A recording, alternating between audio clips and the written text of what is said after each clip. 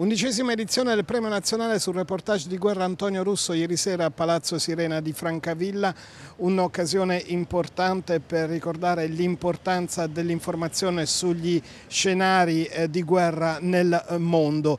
Ehm, la serata condotta dal direttore del centro Luca Telese, alla presenza di tante autorità, dal Presidente Regione Marco Marsiglio, all'assessore regionale Roberto Sant'Angelo e al sindaco di Francavilla Luisa eh, Russo. Eh, I premiati di eh, quest'anno Stefania Battistini, giornalista RAI inviata eh, in Ucraina e poi Simone Traini, operatore TV partner di Stefania Battistini, Fabio Tonacci per la carta stampata, il corrispondente della Repubblica e poi Andrea Spannaus per la nuova categoria dei podcast.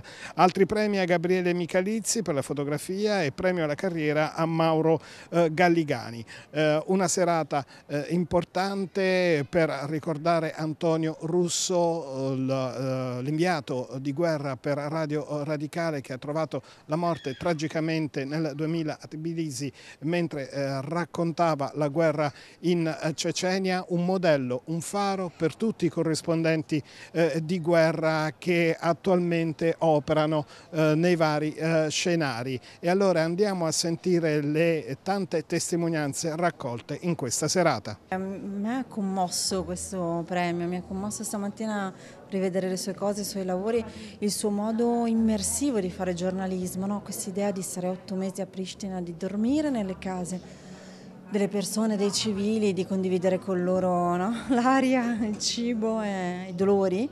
E, e, di riuscire a farli diventare racconto, denuncia, testimonianza. Eh, io se devo pensare al giornalismo lo penso un po' così, un po' totalizzante, anche se è una fatica, nel senso che poi bisogna anche sapersi distaccare no?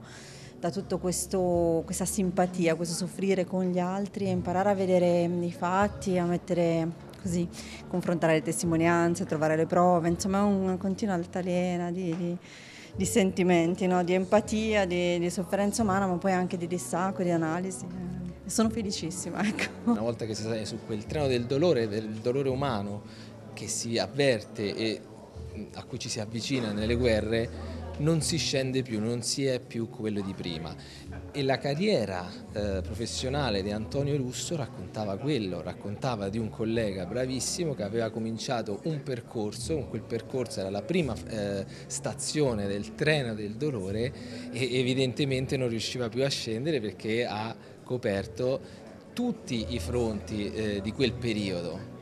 C'è una foto molto bella di Antonio in mezzo a un gruppo di bambini e non è una foto edificante, buonista, è l'immagine del modo in cui lui intendeva il suo lavoro. Rimane epica quella sua fuga dall'accerchiamento su un camion di profughi e lui poteva sembrare un profugo perché era, era quel tipo di giornalista che non aveva il cravattino o la livrea ma aveva il sangue del raccontare le cose, quindi ora ne servirebbero uno, dieci, cento, mille, è bellissimo, diamo un premio che sia in suo onore e che questo uomo fosse un abruzzese al 200% perché secondo me anche nel modo, nel tipo di conflitti, nelle terre che ha abitato è sempre stato uno nelle montagne, nei confini infuocati, non nelle sale stampa. E quindi quel suo aspetto di uomo che poteva essere uscito da un pascolo eh, o da una, una da masserizia era la sua identità. E per la famiglia Russo è, è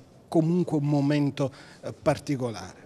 Sì, è un momento di grande emozione, ma per noi molto importante perché portiamo avanti il progetto, il desiderio di Beatrice Russo, di mia zia, che voleva ricordare ciò che è accaduto ad Antonio Russo con eh, l'istituzione di un premio che, che portiamo avanti per onorare la memoria di Antonio, ma anche per ringraziare tutti i giornalisti che veramente fanno un lavoro importantissimo per portare a tutti la verità di ciò che accade nei territori di guerra. È, come dire, è sempre un ricordo doloroso da una parte, ma ci fa anche piacere rivedere ogni anno quanta diciamo, attenzione ci sia su questa particolare nicchia del giornalismo e, e vedere come lo spirito di Antonio Russo sia preso ad esempio dai grandi del giornalismo di guerra. Lui da questo punto di vista è stato eh, antesignano e quindi è bene ricordarlo e siamo qui per eh, rendere omaggio alla sua figura.